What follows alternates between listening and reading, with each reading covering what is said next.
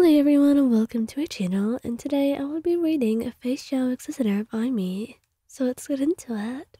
The sterile smell of the hospital room fills your senses as you lie there, motionless.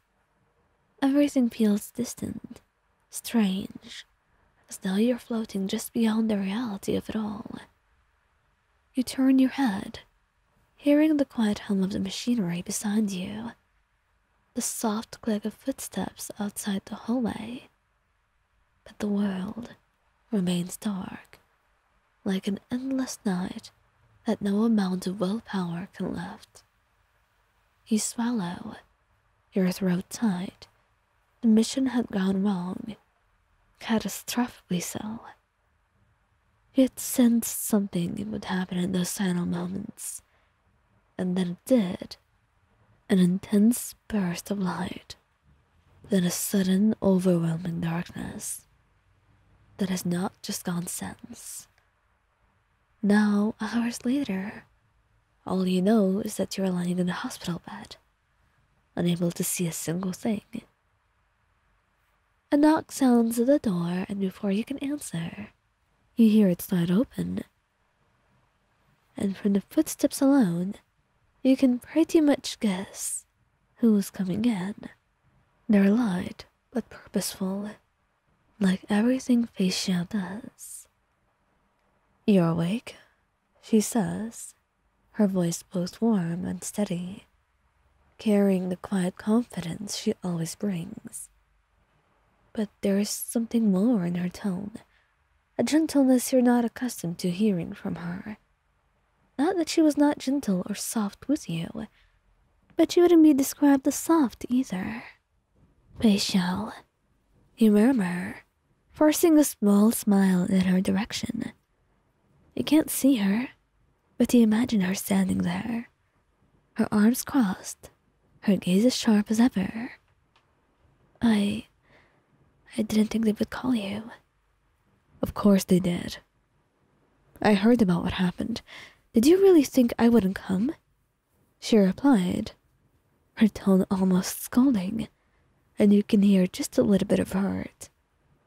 You try to laugh, but it comes out weaker than you intended. Well, I didn't want you to see me like this. To be honest, I can't see anything much myself. Xiao moves closer and a quiet shuffle tells you she's pulling a chair beside your bed. You feel her presence settle next to you, the warmth of her hand reaching out to brush against yours, as if grounding you in a way that words cannot. Don't be ridiculous. I'm not going to leave you alone in this, she says firmly, as if that was an undeniable fact, and you can feel her fingers gently entwined with yours. You let out a shaky breath, the weight of her words wrapping around you like a lifeline. But still, the thoughts in your mind linger, and so does the fear, tightening in your chest. I. I don't know if this is going to be permanent. The doctor said there was a chance it might never go away. I might never. Your voice breaks, and you bite down on your lip, swallowing back the panic rising within you. There is a beat of silence before she responds, her voice softening. Then I'll be with you. Whatever it is, Wayan, I will be with you. She didn't deserve this. Her words hang in the air, steady and unwavering. She's not one to offer any empty promises. And that knowledge is worth more than anything. And it brings a strange sense of comfort. Still, you can't help but feel the weight of what's happened pressing down on you. Together, you, you don't have to stay, Rachel. I don't want to become a burden. You already have a lot to deal with on your own. And I. I don't want to hold you back. Her fingers tighten around yours, and you can feel her lean in, her breath rushing against your cheek as she speaks. You think I'm going to let you push me away that easily? You think a little blindness is going to stop me from being here for you? I can't help but smile. A small, bitter laugh leaving you. A little blindness? You make it sound so insignificant. And she looks away, letting out a soft sigh.